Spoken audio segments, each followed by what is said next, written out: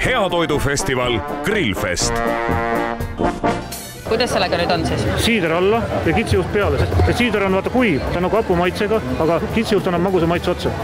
ja nüüd pane siia ma otsa. tunnen, et te tahate mind purju jutta ei taha absoluutselt. ütle, et Aivar, sul oli õigus. milline see sobis, see lambaläts? no Aivar, sul oli õigus. Ausalt, kõik kokased tulevad, algul me oleme targad, me teame, eks on ju, aga pärast fantastiline. Ja sellepärast me olemegi ühe laua taga. Nende katusealune omal, eks on Opri, aga meil on koostöö jube hea. no selge, nüüd ma saan aru, nüüd On ma ju? saan aru.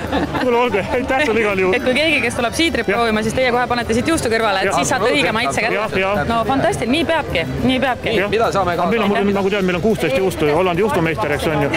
Ja, ja juustukuningas meil on hästi, juust et ei edasi, ainuke Eesti juust, kes sinna sisse on oleme meie. meie brändi promo, aga meie omad. see on väga hea. meil on, meil on seal igasugused kuusevõrsetega, eks ju, nõgestega, trühvlitega, mis on väga populaarne. aga siin on ka küllalt hea valik.